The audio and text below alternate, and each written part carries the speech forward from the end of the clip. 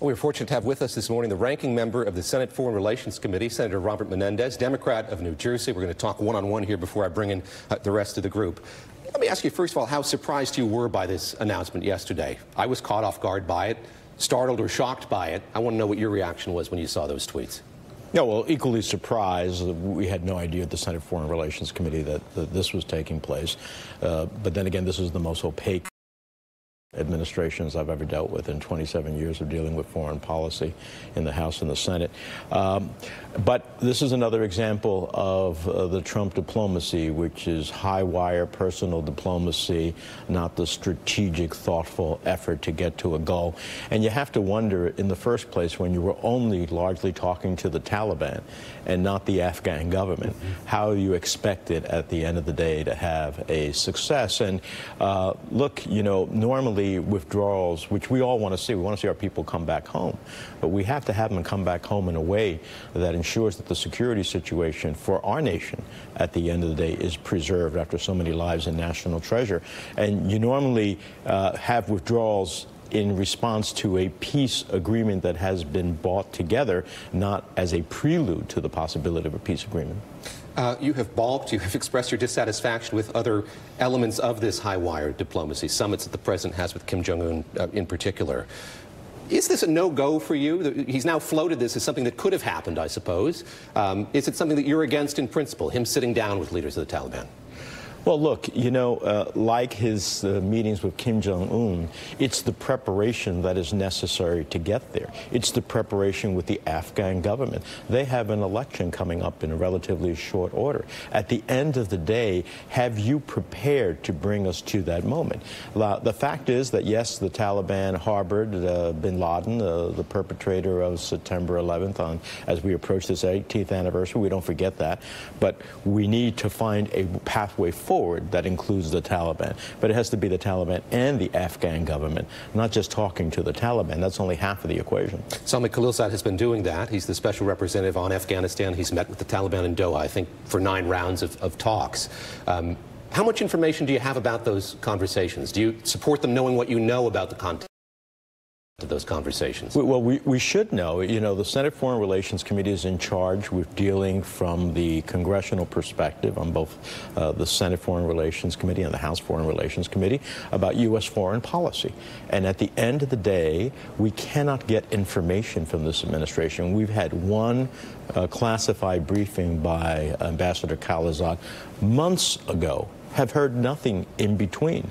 And so you need congressional support and buy-in if, in fact, we agree with the ultimate result. And the result we want is, yes, to bring our people home, but we don't want to have another redo of Iraq where we left uh, without the right conditions and then had to go back. Uh, and so uh, at the end of the day, this is about securing the United States and never having a, a situation where you can have a haven for another September 11th attack.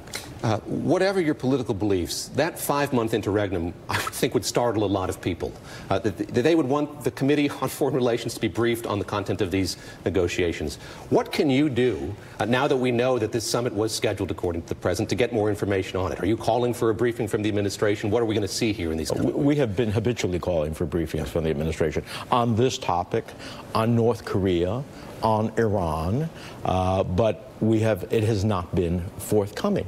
And so sometimes what i do as the ranking member is you know whether it's using the few tools that i have whether it's about a nomination that's before the committee you know prolonging that process so we get the administration to react or whether it's about arms sales as we did in saudi arabia uh, the situation in saudi arabia it, there are limited tools that we have in the minority. Those tools that we have we're using to get basic information but we shouldn't have to be using these tools in order to get the, the basic information necessary to make good judgments on foreign policy and national security of the United States. There is the opacity of the diplomacy, and then there's the ignorance of history as well. If we could put up these tweets once again, I'm drawn to the third one in which he asks, how many more decades are they willing to fight?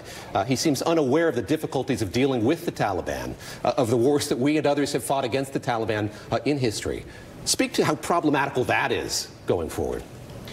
Well, look, this is a president who, who is not only not steeped uh, in any historical perspective, he doesn't seem to do uh, a lot of in-depth uh, work to understand the nature of who he's dealing with, whether that's Kim Jong-un, whether that's China, who thinks in decades.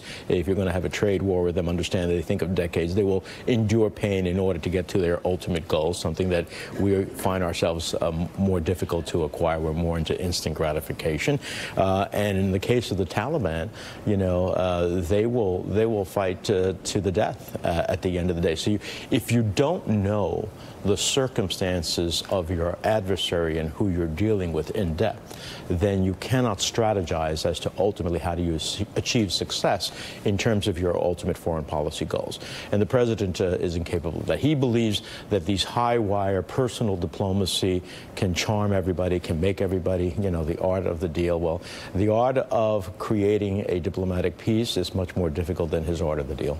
A couple more issues I want to talk to you about. Uh, the first is impeachment. We know that the House committee is going to vote on the path forward this week, debate and then vote on the path forward. How closely are you watching that? I think there's a lot of interest or speculation into how the Senate is watching what's, in, what's unfolding in the House. Well, David, you know, the Senate acts if there was ever impeachment as the trier of fact, as a jury in essence. So I, I take that uh, position very seriously, should it ever come. Uh, but obviously, uh, this administration has stonewalled every single legitimate claim by the majority in the House of Representatives for oversight. I remember when uh, they were pursuing. They were in the majority, and they were pursuing everything.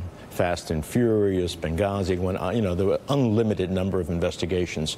They would never tolerate what is going on now in the simple uh, providing of basic information for the Congress to make decisions, both on policy and in this case whether high crimes or misdemeanors have been committed. And so uh, I think that the House is right to try to get a, a, greater access to information so that they can make those judgments because this administration has told everybody just say no, no, no. And, uh, you know, the courts is, is one avenue, but at the end of the day, that takes an extraordinary period of time. He's running out the clock as he proceeds to an election next year. Uh, the, the, work period is coming to an end. You're going to return to Washington, and there has been a lot of talk across the country about gun policy. Um, there are many who are optimistic that something will be done. There are those who've been through this cycle over and over and over again and think we're going to hit the same wall that we've hit time and time again. What's your counsel to them? Your, your, your, your words to them about how this time might be different? Well, look, uh, I don't know uh, how many more uh, mass shootings have to be in the hands of Senator McConnell before he ultimately gives us a vote. I do not accept this proposition that I have to that he says I have to see what the president's willing to sign. That's not the way the founders of the country created the checks and balances between the Congress and the executive branch.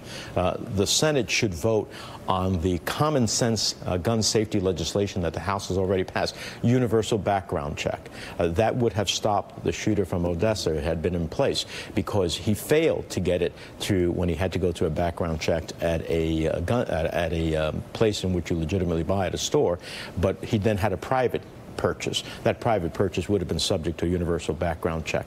Uh, my legislation uh, to eliminate high capacity magazines. You don't need 50 or 100 rounds to go hunting. High capacity magazines are about high capacity killing. These are two common sense gun safety legislation uh, that I think every American uh, overwhelmingly supports. Uh, you just saw a recent Quinnipiac poll 72% said the Congress should do more, 90 something percent said universal background checks should be pursued.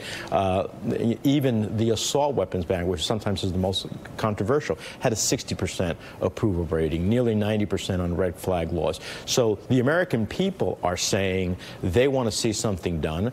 The president and Republicans, to their peril, ultimately uh, can stonewall it. But more importantly, there are lives to be saved, and we can save lives through some of these common sense gun safety legislation. Last question here about the Senate. I've heard more and more people talking about how the Senate was the world's greatest deliberative body.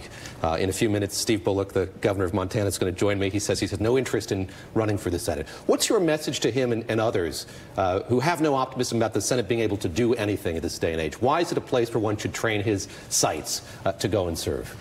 I think it's still one of the most important institutions in our country. It is a critical check and balance against any administration, this one or any other. The confirmation of judges, the confirmation of nominees, all creates a process by which you can have a check and balance and making sure that the government operates as it should on behalf of the American people.